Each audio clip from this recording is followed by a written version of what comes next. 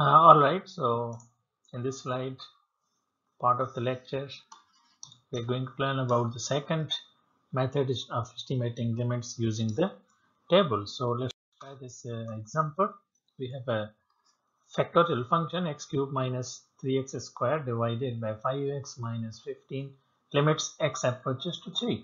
So when you directly use limit, I mean just replace x with a 3 you will get an undetermined term. It means 0 by 0 r 0 by infinity r infinity by 0 r infinity by infinity. So these four are undetermined terms are called undetermined terms. Okay. So this means we cannot use this direct substitution.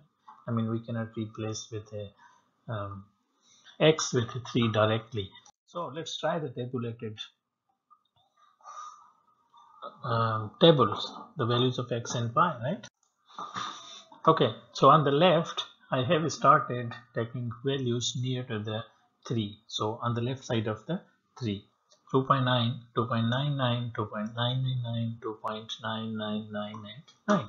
And on this table, in this table, on the right hand side, so I have values on the right of the 3.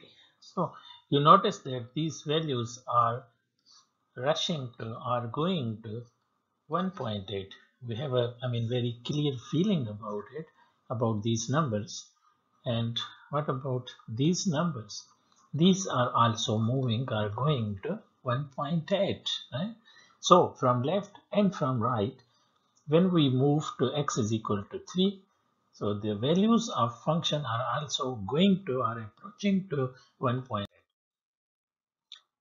just combine these values. So these values of x are going to 3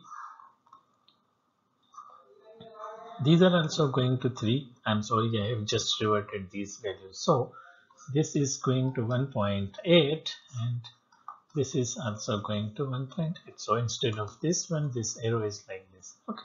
So similarly we can uh, say that the limit of this function is uh, equal to 1.8 looking at the tabulated value i hope it clears. Thank you